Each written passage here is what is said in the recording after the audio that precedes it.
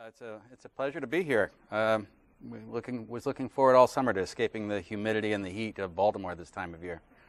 Of course, uh, from what I gather, the heat down there has abated, but uh, nonetheless, it's a great place to be. And uh, thank you to uh, Vermont Law School, to the administration and the faculty and the staff, and especially to Melissa and to Courtney for making me feel as welcome as I am, and, and for having me as a media fellow it's a you know it's a great chance for a young journalist like me to get a chance to learn something about the envir- environmental law.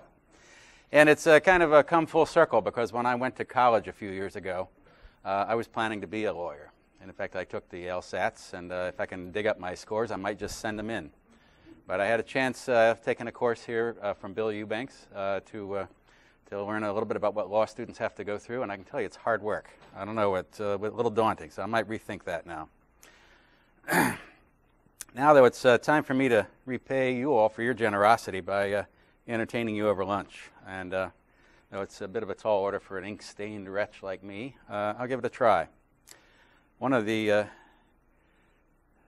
my topic here today, of course, is the Chesapeake Bay. How many of you, got a show of hands so I can figure out, how many of you know all about the Chesapeake Bay? John, okay, just a couple. Uh, I know, how many know a lot, okay? All right. So basically, everybody knows where it is. We don't have to go through that.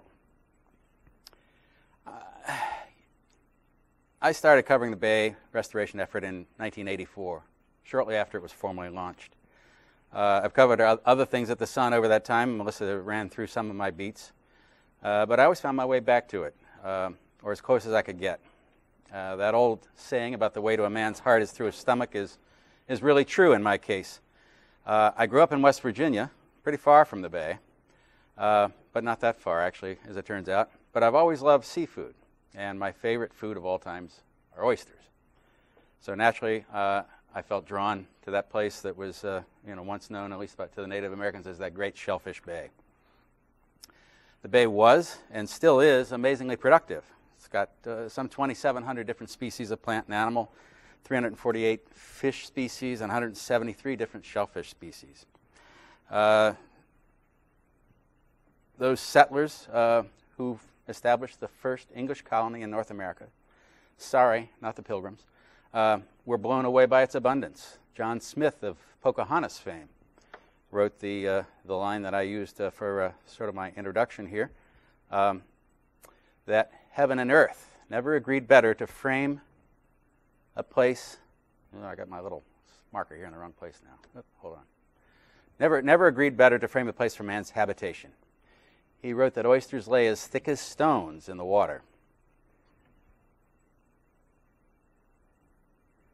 And that fish of all types and sizes were so abundant, they tried to catch them with a frying pan. Didn't work. Uh, but he said basically that stur- there were more sturgeon in the water than could be devoured by dog or man. Well, that might have been a bit of 17th century real estate shtick because the Jamestown colony never nearly starved to death not, not long after they settled here. But over the past four centuries, it's proven to be a real draw. Nearly 17 million people now live in that land of pleasant living as it's come to be known.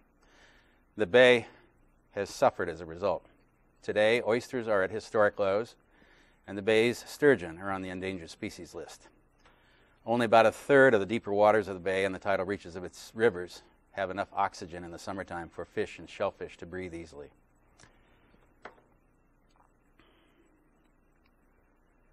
So, as you no doubt already know, the bay is North America's largest estuary. It's also a major test case of whether we can restore and maintain the vitality of a large coastal ecosystem in the face of continuing population growth and development, plus sea level rise and all the other byproducts of global climate change.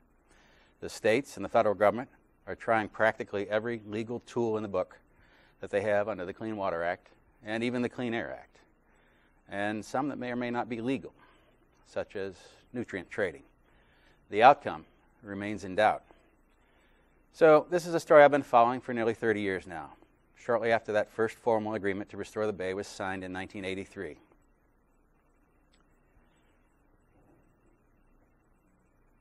It didn't happen overnight, this agreement, this effort to, to save the bay. It began actually in the 1970s, when, in response to growing concerns among conservationists uh, one of Maryland's senators, a liberal Republican, uh, that creature that doesn't exist anymore, kind of like Vermont's Bob Stafford, uh, got Congress to fund a, a, study of what was wrong with the Bay.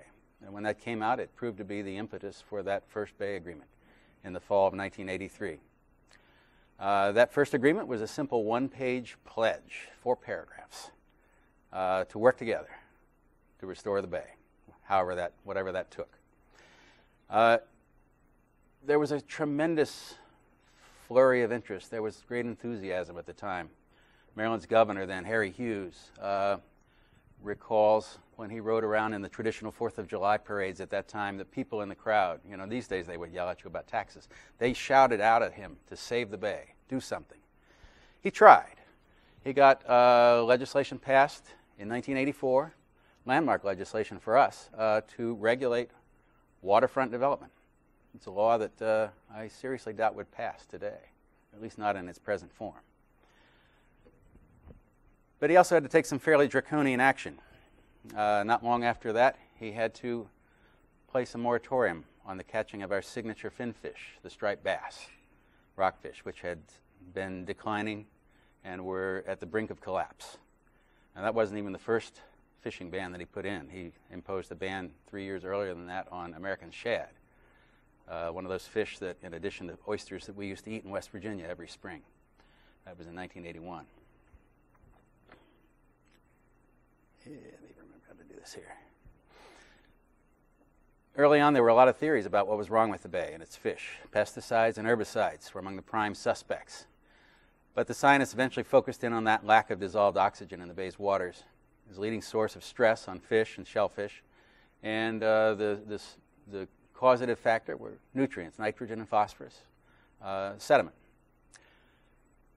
A few years later, in 1987, after uh, pressing the scientists to give them their best estimate of what would take to clean up the bay, the governors and EPA came together again to sign a new agreement, this time pledging to cut that nutrient pollution by 40% by the year 2000. The millennium sounded great. Uh, I was a younger man then. That was a seven page agreement. It also talked about controlling the impacts of population growth and development, identifying and controlling those toxic pollutants out there that might be uh, affecting fish and, and potentially human health. It was seen at the time as bold and ambitious, but doable. Back then, saving the bay was fresh and urgent, and there was a sense of momentum. While daunting, few thought it would drag on this long. We had a lot to learn. The agreements, though, drove governors and legislatures to act. Maryland adopted laws to protect wetlands, to conserve forests, to fund upgrades of sewage treatment plants. Not much was being done about farm runoff at the time, though, and curbing sprawl was proving pretty politically tough. Uh, by 1997, another governor, uh, a guy named Glendening, pushed through uh, what was known as a smart growth law. Um, it's a weak sister compared to Vermont's Act 250, I can tell you. But it was an attempt to steer growth back to cities and towns using the power of the state's purse strings. As we see over time, those strings, it's kind of hard to push growth using a string.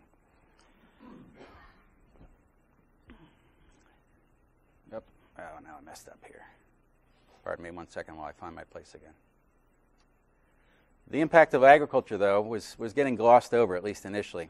As densely populated as Maryland is, farming is a very big industry there, especially poultry farming. Maryland produces about 300 million chickens a year. That's uh, more than 50 times the state's human population. And the entire Delmarva Peninsula yields 560 million chickens a year. So you can see the situation here. I should probably flip through some of these slides. I did this once before. I got so wrapped up in talking I never showed you anything. These are, if it works, and it doesn't, hold on. Here we go. All right. So this is the old bay. Uh, Aubrey Bodine, one of our famous sun photographers, took this picture in the 40s of skipjacks. There's my favorite food. There we are dining on crabs, rockfish. That enthusiasm. There we have growth. There's our current governor learning about the bay, and here we are. Anyway, agriculture was a problem. But in 1997, we began to wake up to the problem. That was the year when we had a series of fish kills. And these were kind of gruesome because the fish were turning up with sores and lesions all over their bodies. Scarier than that, though, was that the fishermen who were working in the area of the fish kills were starting to complain of uh, neurological problems, memory loss, and confusion. Uh, human health seemed to be affected. The public kind of panicked a little bit. They stopped eating fish of all types, no matter where it came from. Uh, and, uh, you know, and the scientists uh, sort of pinpointed at the time what they thought was the critter that was causing this, a, a, a, microbe called Pfiesteria, which was said to attack fish and people alike with a flesh eating poison. They've later figured out it was another algae, harmful algae altogether, but at the same time, the scientists did point out that all the fish kills were happening on that eastern shore on the Delmarva Peninsula, which was dominated by agriculture at the time. I don't know if I've got that slide. This thing does not work. Here we go. Let's try this. Uh, let me show you here. This is a little map of uh, the Delmarva Peninsula. You may not be able to read the graph there, but the red, you know, the deeper the color, the more chickens per acre. So you can sort of see it's very intense. In 97, uh, they woke up to this. Uh, they realized, the scientists pointed out, farming and agricultural runoff was the major source of pollution on the eastern shore. Uh, and that up to that point, relatively little had been done about it. We had relied on farmers' goodwill. We had uh, enlisted them in voluntary reductions, planting uh, trees along the stream, leaving uh, you know stream buffers, uh, and uh, offering them financial incentives to do what they ought to be doing. In 1998, the state adopted regulations for the first time on fertilizer use. they were rather seriously compromised in a number of ways. Um,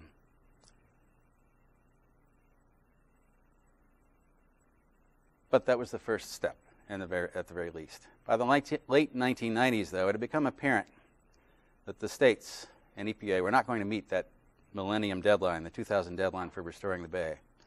So the governors and EPA got together again and signed a new agreement. This one was 13 pages. 102 specific goals to reduce pollution, increase habitat for fish and wildlife, promote sound land use. It also committed the state and the federal governments yet again to render the bay free of toxic pollution. This time they pledged to get it done by 2010, 10 years. Well, in 2008, just two years before that deadline, it became apparent that the bay remained pretty much as polluted with nutrients and sediment as it had been at the outset of the restoration campaign in the early 80s. The governors and EPA acknowledged later that they weren't going to make that latest cleanup deadline, and they needed to pick up the pace of restoration work to make any real progress. They agreed at that time to set a series of two year milestones to goad themselves along, to make themselves more accountable. But by then, we were entering what uh, you might call a new era of regulation, driven by and prompting a flurry of litigation. The EPA had been sued by environmental groups in the late 1990s for not pushing the states to deal with the fact that the bay and most of its tributaries were impaired by nutrients and sediment. The agency entered consent decrees in 1999, pledging to drop uh, TMDLs, the total maximum daily loads. I don't need to tell anybody here what that is, do I? Um, those were at the time aimed primarily at Virginia and, and District of Columbia waters, the Potomac and the Anacostia.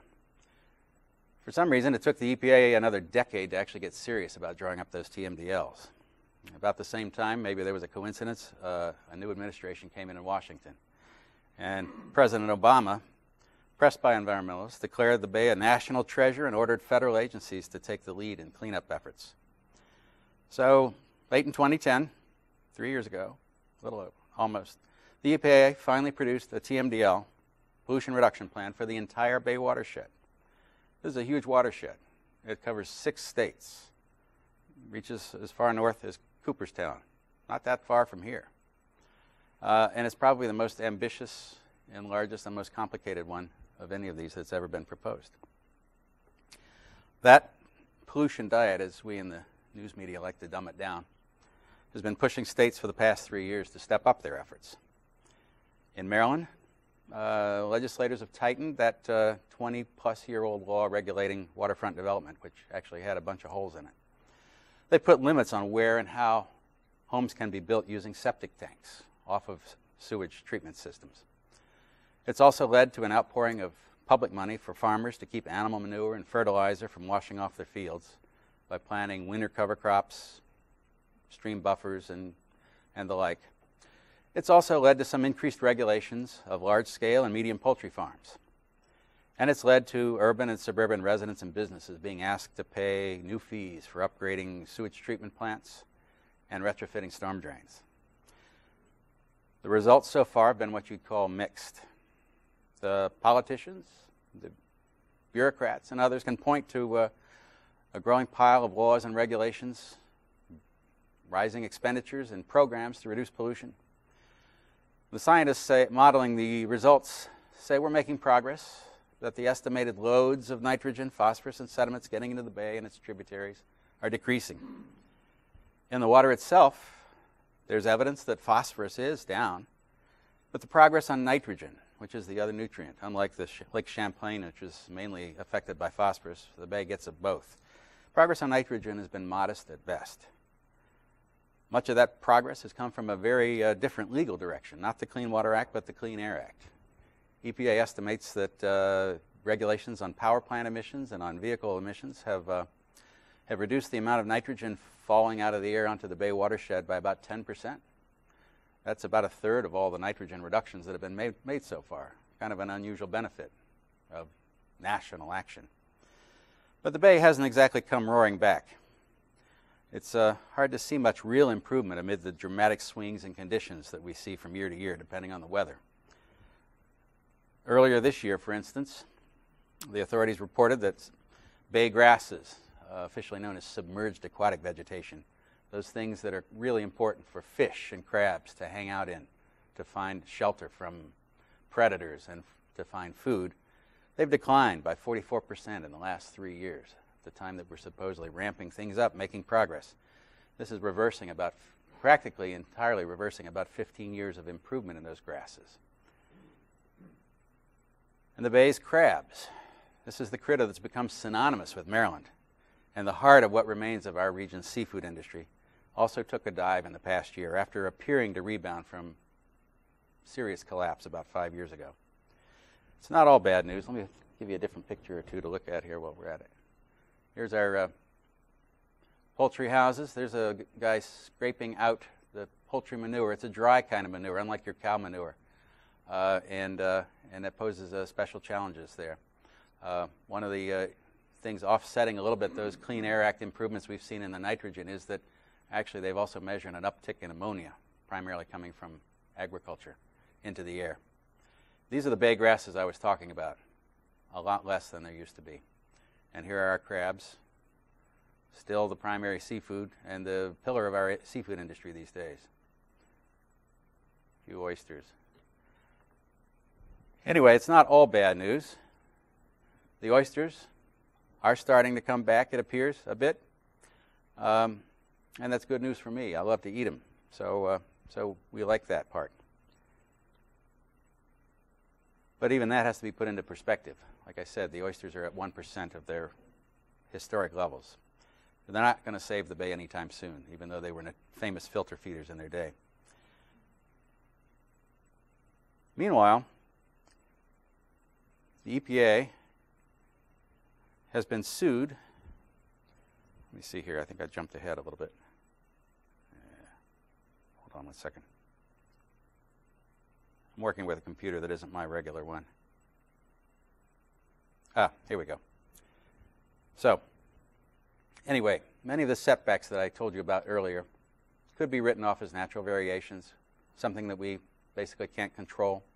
Some scientists see amid the gyrations of the water conditions, a trend line of, of gradually improve, gradual improvement over the last 25 to 30 years. It's small, but the signal is there. And that's what keeps them going. That's what gives them hope. Um, and the whole issue is can we persist? If we keep on, if we keep up the pressure, will we in fact turn the tide? It's not entirely clear while we're in the middle of it that that's going to happen. Sticking to that pollution diet is proving hard to do the American Farm Bureau and farm groups are suing EPA at this time to overturn that Baywide TMDL, arguing that the EPA has overstepped its legal authority and that it's based on bad science. The case was uh, argued in a Pennsylvania federal court last fall. We're still waiting for a decision. Uh, EPA is also being sued by a West Virginia chicken farmer that they tried to get uh, required to get a permit as a concentrated animal feeding operation. She uh, disagreed with them, said her runoff was agricultural runoff, which is exempt from regulation under the Clean Water Act. EPA backed up and said, oh, you don't need a permit, but she's pursuing the suit anyway. Depending on what happens, this could affect EPA's ability to regulate poultry operations. There's been other litigation too, um, also with somewhat mixed results. Uh, the Waterkeeper Alliance environmental group, you may have heard about them. Uh, they won a Pyrrhic victory suing uh, a poultry farm and the uh, poultry giant poultry company Perdue uh, getting a ruling from a federal judge that uh, the large poultry companies could be held legally liable for pollution caused by farmers who were raising chickens uh, under contract to them. Um, however, uh, the alliance failed to prove its case in court. The judge found that uh, they didn't have the evidence that there was pollution from the poultry operation. And in fact, he was uh, so unimpressed with their case that he's now considering whether to award legal fees to Perdue and the poultry farmer. They've asked for more than $3 million. That also is waiting action. EPA, uh, just to add to the burden, EPA lost a case in Virginia recently where they were trying to regulate stormwater. Uh, it's raised a little bit of question about exactly what you can require to be regulated as far as regulating stormwater runoff. So there's been, as I said, a number of these uh, court cases out here. It appears in some ways that uh, EPA is, is getting a little more tentative about what it's going to do about stormwater and about CAFOs, about agricultural runoff. There was an agreement, one of the uh, environmental groups, the Chesapeake Bay Foundation, had won an agreement in 2010, one of those settlements, uh, to, uh, that EPA promised that they would generate rulemaking on stormwater and on CAFOs. And uh, neither of those is forthcoming. The Bay Foundation recently let uh, EPA off the hook, if you will, by uh, allowing them to forego issuing a, a, national rulemaking on that if they would just look a little more carefully at, the, uh, at a few uh, CAFO's chicken operations in the Bay watershed.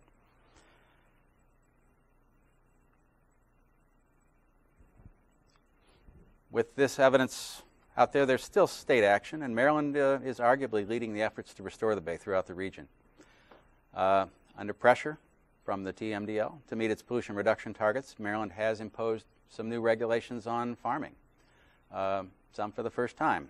They're now requiring livestock to be fenced away from streams, requiring manure to be stored under roof to uh, cut the runoff from it, um, and they're requiring them to work that dry manure into the soil to prevent it from running off.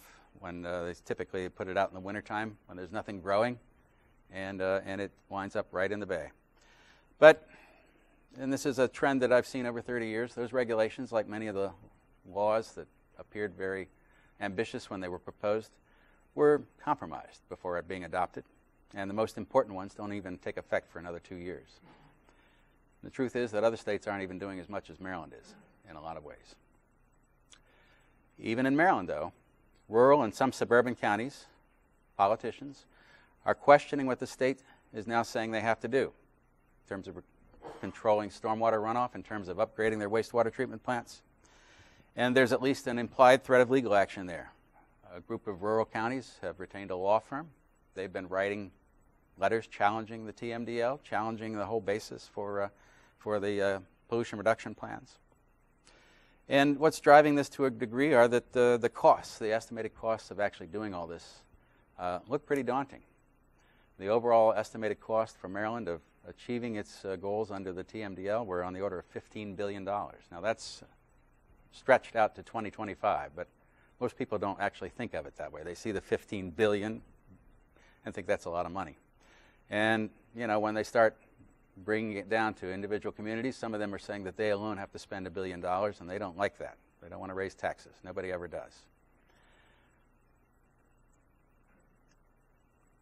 One possible antidote to those costs that's being explored now, and it's actually becoming, I guess, sort of a, the saving grace, if you will, to, to some, is pollution trading, nutrient trading.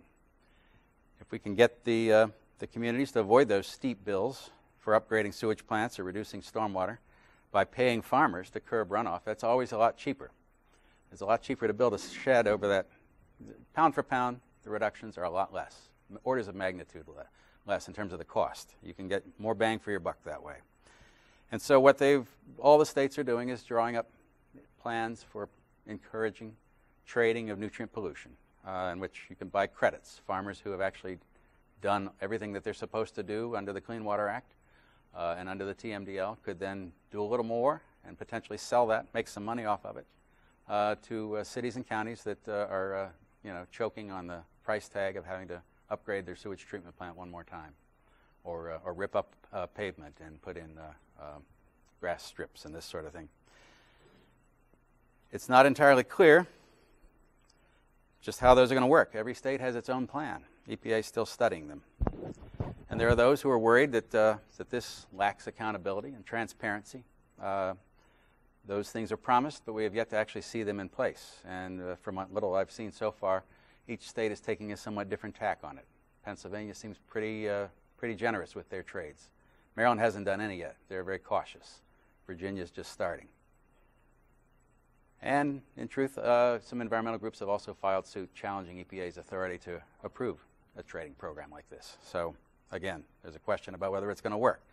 It is seen as, in Maryland anyway, what's going to help us hold the line. Because the fact is, with the TMDL, in the end, what you have to do is once you reach that pollution reduction target, you have to stay there.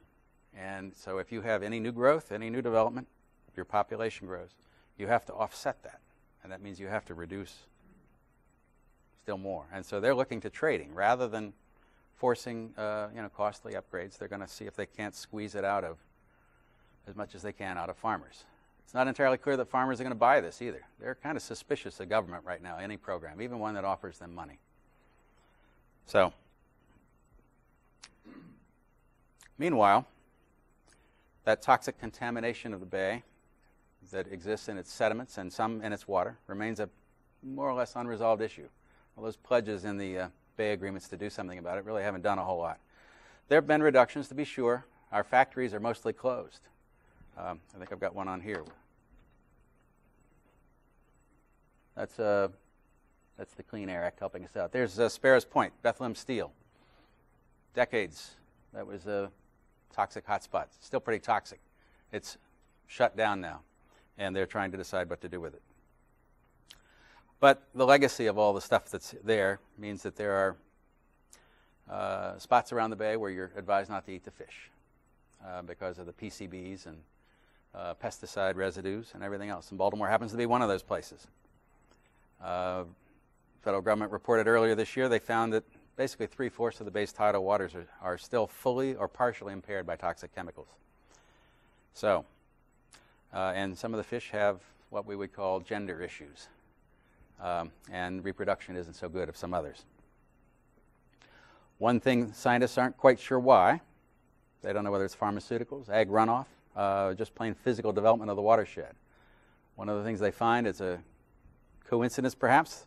They've noticed that fish and uh, aquatic bug populations start to take a dive once your development in a given watershed reaches about 10 or 15 percent. So that you know, if nothing else, you've got a, an indicator there what's going wrong. So that's, uh, but that again has not been actually sort of built into any kind of regulatory program.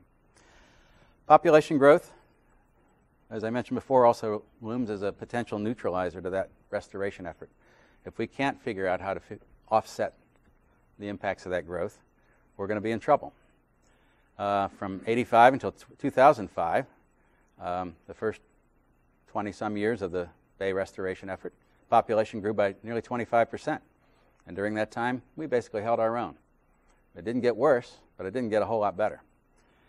Development pressures eased up a lot since then, but it's still about 160,000 people coming into the region every year. It's a big region, 64,000 square miles. By some estimates, population could reach or approach 20 million by 2030 from 17 now. So it's, it's, there's significant impacts there. And finally, climate change. There's our Bay uh, Health Report card. Here's our population. They're coming over the Bay Bridge. Talk about climate change. it could wreak still more havoc. Rising water temperatures could well alter the species mix in the ecosystem, and rising sea level makes our coastal communities much more vulnerable to storms. This picture is of uh, Baltimore. After, uh, which one was that, Bob? The uh, 2003 uh, Isabel, Tropical Storm Isabel. So, rising waters also may drown our many tidal wetlands. Uh, these are the essential sponges to help filter out some of that pollution and provide habitat for, for the fish and wildlife that we were so famous for. Those engaged in trying to restore the bay recognize all that. So the EPA and the states are in the process of drawing up yet another bay agreement. Hoping to sign it this fall. Uh, this one, the nutrient pollution is supposedly being taken care of by the TMDL. This one's going to focus on restoring those fisheries that are still down. The American shad, moratorium since 1981, have yet to be restored in the bay. They're not entirely sure why. Um, this one's going to focus on fisheries, on habitat, some of those other issues not directly dealt with through the TMDL. They're proposing to do it the old fashioned way with another voluntary cooperative agreement, just like the, the other ones where they missed the deadline. But they say this one's going to be different somehow. It's going to be more transparent, more accountable. Uh, the draft right now is pretty short on specifics, so we're waiting to see. So, 30 years after the beginning of the campaign to save the Chesapeake, its fate's still very much in doubt. Maybe the most important lesson from the past three decades is that we're never going to be done with that Herculean task and that the bay is going to require constant management if it's going to continue to harbor crabs and fish and the oysters that I love. And the biggest challenge of all may be to keep the public interested and supportive, willing to pay for and participate in what ultimately is an unending stewardship of this vast ecosystem. And this story, which I wondered once how it was going to turn out, looks like it's going to go on for long after I've stopped scribbling. Thanks very much.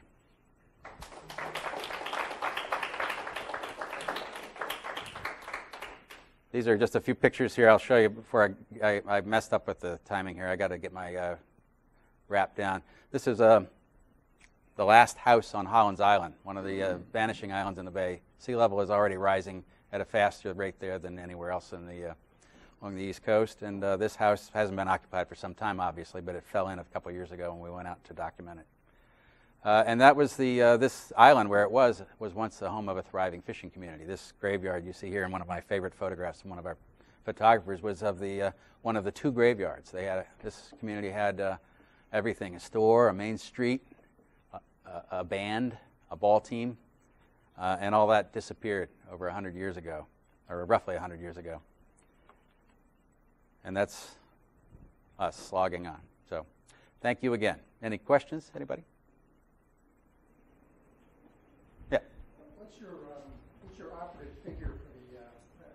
Sea level rise in the next 100 years, and how, um, how are the uh, communities along the bay preparing for, for that expected sea level rise? Well, like everything else, it varies because you know the, the federal government isn't giving a huge push on that. Um, Maryland uh, recently issued a report, got some scientists together. The governor asked them for advice on how to plan and they advised uh, folks to get rid, you know, at the outside, and this is the, you know, the possibly the extreme, could be three feet by 2050. Uh, so that's huge. Yeah, yeah. Uh, more likely, you know, on the order of one and a half, one, somewhere in there. But that's more than double what historically the level had been. And that, it, you know, again, on the outside, it could be upwards of seven feet by the end of the century. And you know, when you start to draw maps to look at where the elevations are, that puts a lot of the Delmarva Peninsula underwater. Uh, that puts Smith and Tangier Islands, our last populated islands in the bay, in, in serious jeopardy. Uh, one of the little stories I did this year was a, a little kerfluffle there where uh, uh, Sandy, which did so much damage to New York and New Jersey, pretty much passed Maryland by with one, one small exception. Uh, it's a huge storm swirling this way. And so some of those back winds from the backside of that storm blew water across the bay from like the Potomac River up against the uh, eastern shore around Crisfield, which was Maryland's traditional seafood capital. It's the place where all the oysters and the crabs, still the heart of our crabbing country. Uh, and they got hit, they got hammered. A lot of homes destroyed, hundreds of cars ruined, Uh, there's still people living in trailers over there. I mean, it was kind of uh, ignored because of this extreme devastation in New York and everywhere else. But th- uh, that one county got hit hard. Um, as part of that, there was a little bit of federal money. The Congress did provide some disaster revenue. Maryland got a little chunk of that, and they earmarked it all for Somerset County. And I think the state was trying to think progressively, but they didn't really communicate this well. They said, "For we're going to make money available to rebuild Crisfield. For you folks out there on Smith Island, 10 miles out in the bay, we're going to offer you money to move off the island." And it was not taken well by the people there. They're kind of a rugged lot, and uh, and they rose up in uh, in objection to that. Uh, and after back and forth, it was pulled back. But so the state is trying to do some things. They're trying to encourage the counties to plan for sea level rise, uh, to change their building codes and their zoning codes. Uh, flood insurance is part of the, the, push there. And one of those quirky things, the, we're getting new flood insurance maps. They don't necessarily reflect projected sea level rise, though. They only deal with historical storms, and not even the impact of Isabel is actually built into their, their rates. But there are pressures because of all the damage that has happened nationwide. Flood insurance rates overall are going up astronomically. And so even if you're not in a higher danger zone, your rates are going up. And one way that you can reduce those rates is by requiring new homes to be built above, well above the flood uh, hazard zone. And, uh, and so that's one of the things that's actually being looked at. Baltimore has uh, got a disaster plan that they're looking at right now that would include increased freeboard to some degree. So, uh, but again, counties are basically on their own. Each one gets to decide. Yeah. Regulatory moratorium for agriculture bill that kind of split the environmental community. Yeah. And got enacted with only the Chesapeake Bay Foundation going along with it. Right. Yeah, I mean, as, again, sort of as the rubber hits the road, you're starting to see these real frictions, disagreements, not over whether we should clean up the bay, but how to do it and how best to do it. Um, there was uh, each of the states actually has adopted or is in the process of adopting this thing called agricultural certainty. It's the old safe harbor idea, which is, I guess has been floated at the national level. Uh, essentially, if farmers agree to a certain level of, of pollution reduction or to put certain best management practices on their land to reduce runoff, then they would be sort of uh, freed from having to do anything else for a certain period of time. Um, in Maryland, that translated into 10 years. It's a long time. Um, you know, the argument for it is that they're going to actually do more than they're currently being required, and Maryland is requiring probably more than, than most of the other states. Uh, it's not entirely clear how that's going to work out, but there was such a groundswell of support for this. I got to think in part because of the backlash from the waterkeeper case. I mean, farming is really pretty powerful politically in Maryland still.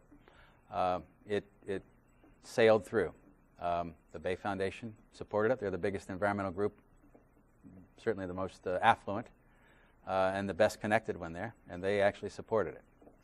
Uh, the argument is that it's going to be transparent, but it won't be transparent to me because in Maryland, you're not allowed to see the nutrient management plans, the ma- manure management plans of farmers. Uh, they passed that law that was passed way back in the 90s to make them develop manure management plans, exempted those from public information. So only the state regulators get to see them. And we have to pretty much trust that they're going to do their job. Uh, and this ag certainty thing appears to be falling into that same boat. But Virginia and Pennsylvania, and I think Delaware, are in the process of doing similar kinds of things. And you may hear about them in other states. I think one or two other states actually have similar programs. Bob, is that right? Yeah. So um, it's it's sort of a coming thing. Part of the you know if the Champlain TMDL gets really serious, farmers here may be, be clamoring for ag certainty. Yeah. Tim, uh, from a standpoint, um, how are you, how are you going to cover the trading regimes? Uh, Is this something that you and your, your bosses at the paper Baltimore Sun are talking about, or other journalists at SEJ talking about? Because for better or for worse, it, it's the policy instrument of choice. Uh, There's no Yeah. question about it. That's, that's the only realistic handle on non-point. That's what they're going to use it in Mississippi and everywhere else. Um, The, the, success, there's, there's definitely been success with trading in, in, in, um, in Long Island Sound. But so far, it's been point to point, not point to non-point so much. Right. It's moving up the watershed, it's going to the non-point, it's clearly heading in that direction. So what, what's the strategy for trying to penetrate the gaming that clearly is going to go on? Well, again, I think you just have to sort of examine these as closely as you can. It's yeah, it's true. It's been sort of coming for some time. I can remember hosting a, a sort of a mini panel discussion on that at a SEJ conference six years ago. And at that time, we were hearing from North Carolina that it wasn't such a good thing because they had had some trading going on down there. Um, point to point is uh, is accountable because they're operating under permits. You can measure it. You can see it. Uh, it gets much more challenging when you're trying to account for you know non-point runoff. They're you know some of the this, things that they're talking about are basically requiring a, a you know a cushion, you know because all you can do is estimate the, the nutrient runoff from a from a particular BMP. And some of these BMPs haven't really been thoroughly vetted to tell if they actually work. That's actually ongoing, even as they're drawing up these plans. So that's again, it's a moving target. Um, I'm you know frankly pollution trading is probably at the top of my list of things to investigate. Is SEJ going to do something on Uh, I don't know if they're going to do anything this year, but we should. this? Yep, we should revisit it. I mean, it's becoming more real, uh, very real. We're hoping to, to meet in Washington in a few years, so maybe we can There you go. get back to it. Excuse me, what's SEJ? Oh, I'm sorry, Society of Environmental Journalists. It's a national group, actually international even, of uh, journalists who uh, cover the environment. Um, it's uh, somehow in the uh, turmoil of the uh, media world has remained uh, vital and lost some members, but not that many. I'm a dinosaur. There aren't nearly as many newspaper reporters as there used to be. And that's one of the challenges about doing something about pollution trading. I've been talking about doing something about it for two years. Getting the time to do it is, uh, is sure a bigger challenge. Okay, good. He's got all kinds of. Yes. My name is Charles White. I'm a port commissioner for the Port of Baltimore. And I just happened to see this topic in the newspaper, and I couldn't help but call Mr. Wheeler to say that I'd love to come by and just answer some questions. But I'd like to also to talk about an additional stressor that has nothing to do with chemistry or chicken shit. It's commerce. Right in the middle of the bay is the Port of Baltimore. Port of Baltimore doesn't pop to your mind as being a big Atlantic port because it's an inland port. It's 100 miles away from the ocean. But it's number nine in terms, it's in the top 10 in America in terms of the value of its commerce. It's number one in the United States in a number of commodity flows, number one in automobiles. At any one point in time, you can find 60,000 automobiles at the port on the ground, ready to be transported. It's number one in what is known as RORO commodities, heavy agricultural, mining activities that are, that roll onto the ships. It's number one in forest products, import. People just don't think of Baltimore as being that kind of a port. But the great majority of fine printing paper for magazines, brochures, comes from Finland to Baltimore. That's kind of a shrinking market because of the internet, but it's offset by the other kind of forest product that comes in, pulp, a growing commodity. It comes from Brazil because we all have to go to the bathroom. And as we get older, and bigger population, we go more frequently, we need more toilet paper. It's a perfect, perfect commodity for the future. But again, number one. Number two, in America, in export coal. You look at the Chesapeake and you see row after row after row of coal ships taking, you won't like this as environmentalists, taking coal to China. But it's relatively clean Appalachian coal, so there's a little improvement, but it's, it is what it is. We're also number one on the import of salt. If you ever drive through Baltimore on Route 95, you'll see a big pile of salt on one side, the huge coal pile on the other. It's, it, they call it the pepper and salt of, uh, of the port. It's number two in imports of aluminum. And number one on the imports of gypsum. Gypsum goes in the wallboard. Uh, When the building boom comes back, that'll be a huge, huge activity. It's the fastest growing port in America, and it's the fastest growing cruise port. Now, having said all that, that just shows you that there's a thousand ships in the Chesapeake Bay a year, commercial ships. But Baltimore is also, because of Maryland's allegiance to the bay, it goes overboard to be green. It does things that a normal businessman running a port would never do because of the state's concern for the bay. It's almost like a mantra in Maryland, tre- treasure the Chesapeake, Chesapeake Bay. It says so on vanity license plates. That that's, that's our, that's our trademark to the rest of the, uh, the country.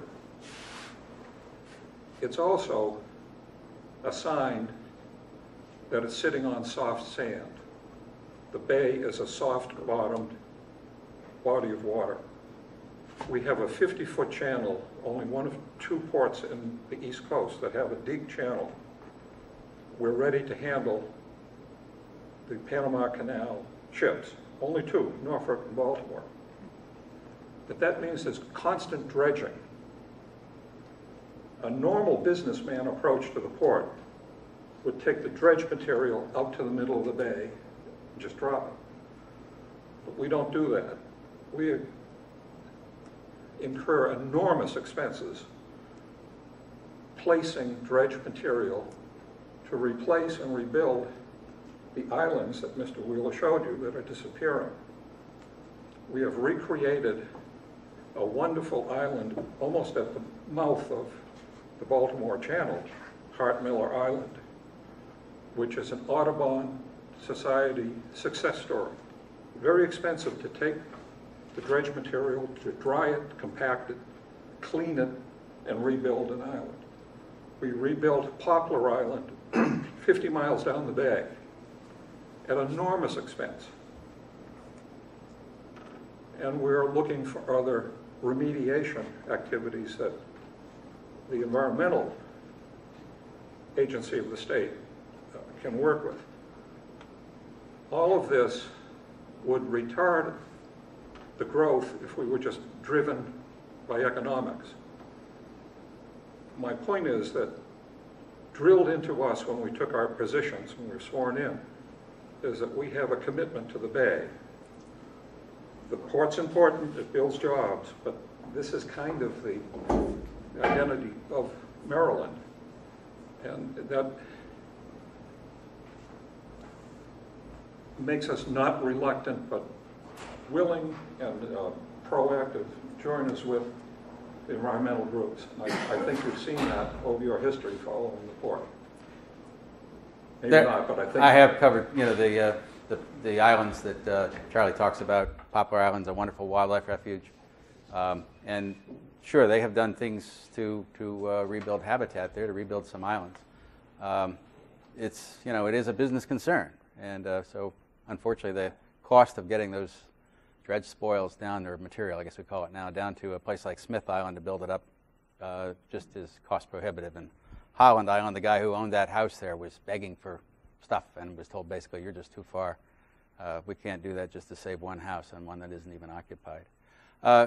You know, it's, it's true that the, the port is a working concern, uh, that they have, uh, uh, you know, done rehabilitation. There's a nice uh, uh, area that they reclaimed inside the harbor, in fact, Masonville Cove. It's been turned into a park and a bit of a wildlife refuge.